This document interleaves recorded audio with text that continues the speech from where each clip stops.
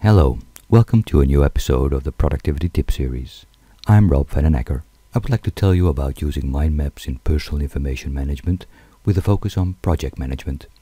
In this episode, I will sometimes refer to earlier episodes about pile files and tracking numbers. You should, however, be able to understand this new topic without having seen the previous ones. I will first briefly show you what mind maps are. For more details, you can find many other YouTube films on mind maps. The focus of this episode is on simple workflows as examples of managing data in project management environment using mind maps. But these techniques can help you in many other areas. A mind map is a diagram used to visually outline information. It is created around the main subject placed in the central node. Major categories radiate out from this central node, and lesser categories are placed further away from the central node.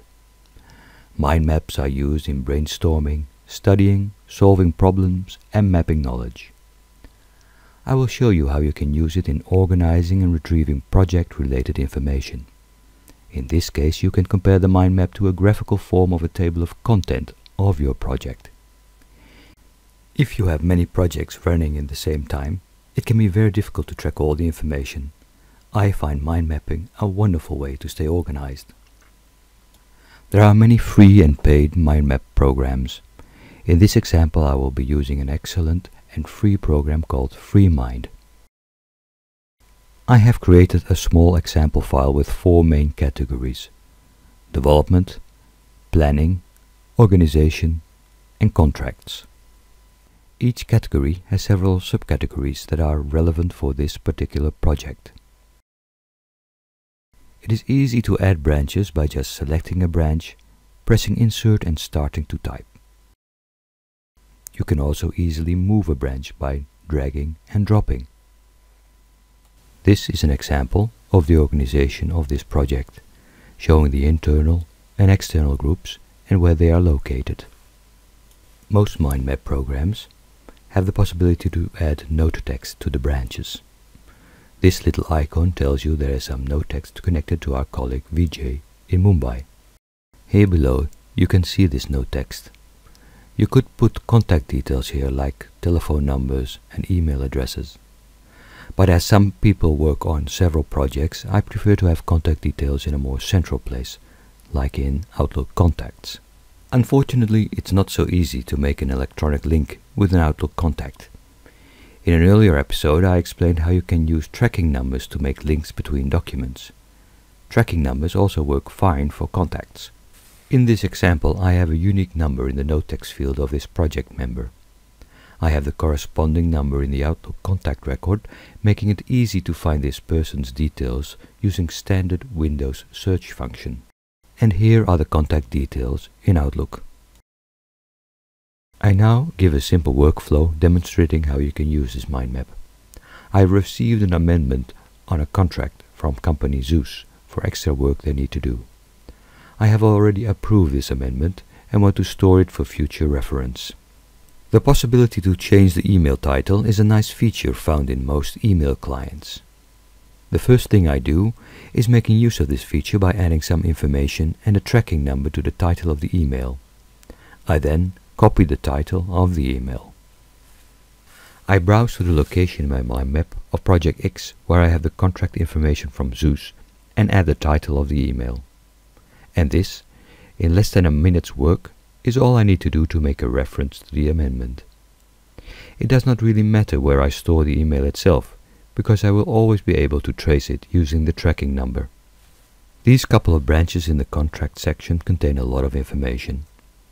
Here you can see the initial contract with its tracking number. It is easy to find back the electronic version of this contract. If you have looked at my earlier episodes on pile files, you can recognize the notation describing the place where the hard copy is stored. In hard copy file of Project X at sequence number 95. Here you can see the earlier amendments to the contract with their tracking numbers. In the text field there is a short description about the reason for the amendments. There is also a link to the place in the mind map where the reports of this project can be found. And a link to the team involved. In short, the example workflow was as follows. You change the title of an email to a meaningful one and add a tracking number. Copy the title. Store the email somewhere in your email repository or somewhere on your hard drive, wherever Windows Search can find it. Look up the branch in the mind map that is related to the document and copy the title there. And, if you want, add some note text. In this second workflow example, I found an interesting guideline I want to store to study later. I copy the link address and go to the related topic in my mind map. I make a note that I want to study this guideline later and add the address to the branch.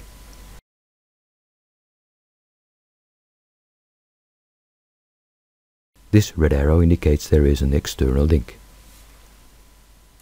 Finally, I add a magnifying glass marker to remind me that this is something I want to look into. Like most mind mapping applications, FreeMind can also apply filters to select specific branches. This filter shows the telephone icon indicating I want to make a phone call to this person and several magnifying glasses indicating documents I want to examine. I hope you have enjoyed this episode about mind maps in project management. You can find the transcript of this video on my website, robsprotips.com. This was Rob van den Akker. Looking forward to seeing you again with my next episode. Please select one of the following episodes or subscribe to this channel.